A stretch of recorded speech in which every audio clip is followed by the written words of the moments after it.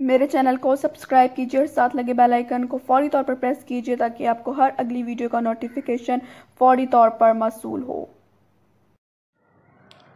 असलकुम एवरीवन कैसे हैं आप सब लोग? अल्हम्दुलिल्लाह, मैं आप सब लोगों की दुआओं से हूँ, बिल्कुल ठीक ठाक। मैं उम्मीद रखती हूँ कि आप सब लोग भी बिल्कुल ठीक ठाक होंगे। Welcome to my YouTube channel welcome to another vlog I hope आप सब लोग बिल्कुल ठीक ठाक और खैरियत से होंगे, खुश होंगे। तो आज का व्लॉग मैं अपना स्टार्ट कर रही हूँ जी। जुमे जुमे से आप सब लोगों को मेरी तरफ़ से जुम्मा भी बहुत बहुत मुबारक। मुझे भी अपनी दुआओं में याद रखिएगा। आप सब लोग हमेशा मेरी दुआओं में रहते हैं। हमेशा अपने दिन को खूबसूरत और अच्छा बनाइए। आप अपने दिन को खुद ही खूबसूरत और अच्छा बना सकते हैं। सो इसी अच्छी जो है वो पैगाम के साथ अपना व्लॉग स्टार्ट करते हैं। जो कुछ भी होगा लाइफ में आपको अपडेट रखूँगी। और अगर आप अभी तक आप लोगों ने मेरे चैनल को सब्सक्राइब नहीं किया चैनल को सब्सक्राइब कर लीजिए वीडियो को लाइक कर दीजिए एंड कॉमेंट करके मुझे लाजमी बताइएगा कि आप सब लोगों को मेरी वीडियो कैसी लगती हैं। चले चलते हैं आज की वीडियो की तरफ़। ये देखें कि अभी मैंने एक व्लॉग जो है वो अपना प्रॉपरली बनाया है, बना हुआ था और रिजवान साहब मेरे व्लॉग्स में ना आए, ऐसा तो हो नहीं सकता। तो रिजवान को आज मैंने अपने व्लॉग में ले ही लिया है। तो रिजवान मोटू, बताओ क्या हाल चाल है? अच्छा रिजवान, ये बताओ कि आपको कैसी अपनी बर्थडे सेलिब्रेशन लगी? मज़ा आया था कि नहीं आया था? बहुत मज़ा आया था, लेकिन अभी गिफ्ट देने हैं। गिफ्ट आपने ले लिए हैं बैट बैट आपने ले लिया है चीज़ें आपने ले ली हैं। अच्छा आज के व्लॉग में हम ये भी कहेंगे कि आप लोग फ़ायज़ा के लिए भी दुआ कीजिएगा फ़ायज़ा की तबीयत ठीक नहीं है। दो दिन से फ़ायज़ा को बुखार था तो इसलिए आप लोग उसके लिए प्लीज़ दुआएँ कीजिएगा। और रिजवान साहब इस वक्त रेसलिंग यानी कि अपना पसंदीदा काम जो है वो देख रहे हैं। रिजवान आपने तो बड़े होकर क्रिकेटर बनना है तो आप रेसलर क्यों देखते हो? रेसलिंग क्यों देखते हो? रेसलिंग तो आपने फिर दो दो चीज़ें करनी है। फ़ायज़ा का ये ख्वाहिश है कि रिजवान सिंगर भी बन जाए। तो तुम ऐसे करना तुम सिंगर भी बन जाना क्योंकि तुम भाई तो एक ही हो। तो फिर तुम रेसलिंग भी करोगे बॉक्सिंग भी करोगे क्रिकेट भी खेलोगे। वो एक तरह का ऐसा ही है ना खेल। बॉक्सिंग भी इस तरह मिला जुला ही खेल है ना इस तरह का। बॉक्सिंग रेसलिंग क्रिकेट सिंगिंग बस यही करते रहना लाइफ में। वो क्या करना ना ग्राउंड में क्रिकेट खेलते खेलते ऐसे बस गाने गाए। और क्या तुम लगोगे? अपलोड कर दो। गाने गाता क्या लगोगे तुम हैं? अच्छा। चैनल बनाना है। बेटा पहले मेरा तो हो लेने तो फिर तुम अपनी तरफ़ आ जाना। आजकल दुनिया कितनी फिर वीडियो ना नीचे डिस्क्रिप्शन में दे दो। क्या आप अपना बता दो? अगर कोई आपकी आपको पसंद करता है तो आपके आईडी पे जाएगा। आप अपना यूज़र नेम बता दो वीडियो में। आपका क्या यूज़र नेम अच्छा डिस्क्रिप्शन में डाल दूँ, लेकिन यूज़र नेम पता ही नहीं है जनाब को। उसको मैं आपको एक बात बताऊँ, उसको ये नहीं पता कि मेरी बर्थडे थी उस दिन, वो पहुँचा हुआ था खेलने के लिए।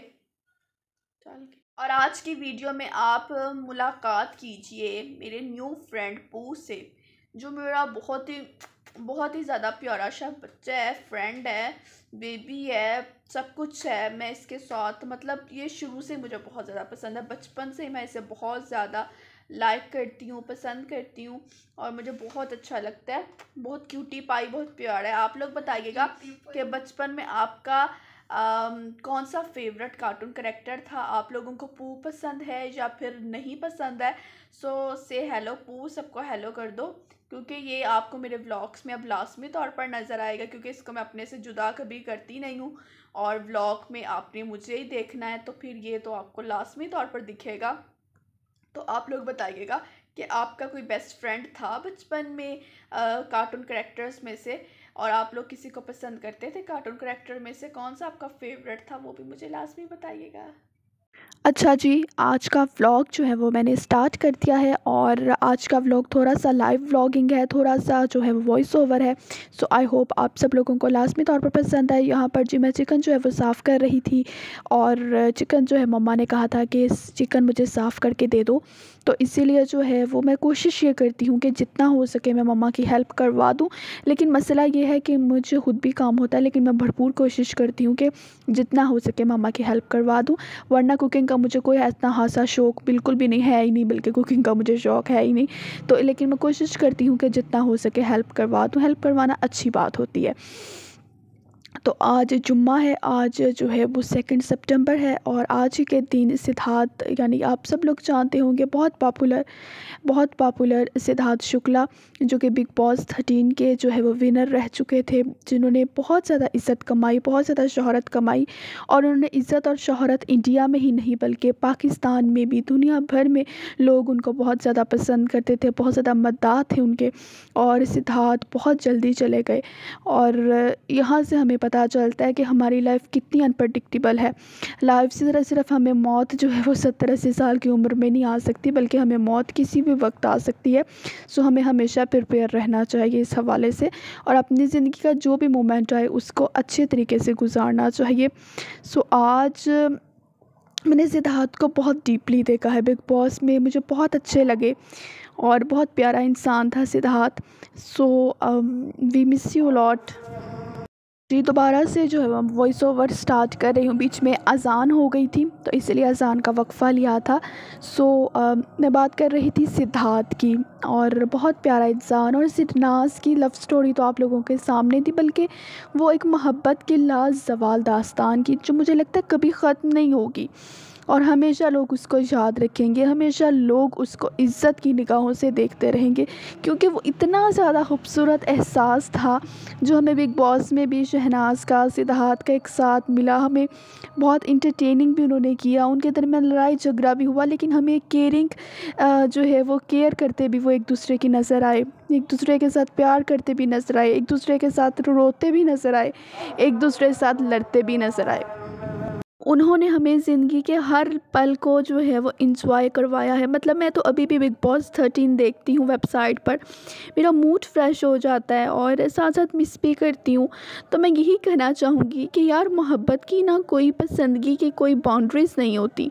सो हमेशा आपस में प्यार, मोहब्बत से रहो और लव हैज़ नो बाउंड्रीज़ मोहब्बत की कोई सरहद नहीं होती। वो एक इंडियन है, लेकिन वो एक बहुत बड़ा इंसान था, बहुत अच्छा इंसान था।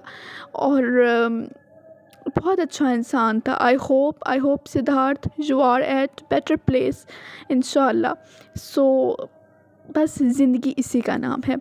और यहाँ से जी मैंने लाइम लाइट से अपने लिए एक शर्ट मंगवाई थी। शर्ट मैंने खद्दर स्टफ़ में मंगवाई थी और ये शर्ट काफ़ी अच्छी लगी मुझे। इसकी स्टिचिंग बहुत नीट थी, शर्ट खद्दर में थी और ये सेल में लगी हुई थी। आप सब लोगों को पता होगा अगस्त के सीज़न में काफ़ी ब्रांड्स पर सेल लग जाती है।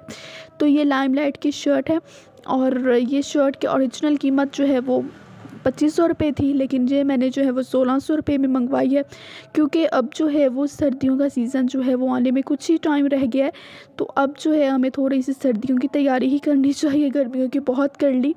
तो मैंने सोचा, चले मैं आप लोगों के साथ शेयर करूँ। आप सब लोग बताइएगा ज़रूर कि आप सब लोगों को शर्ट कैसी लगी, क्या आप सब लोग सिद्धार्थ को जानते थे? आई होप सब लोग इस सिद्धार्थ को जानते होंगे।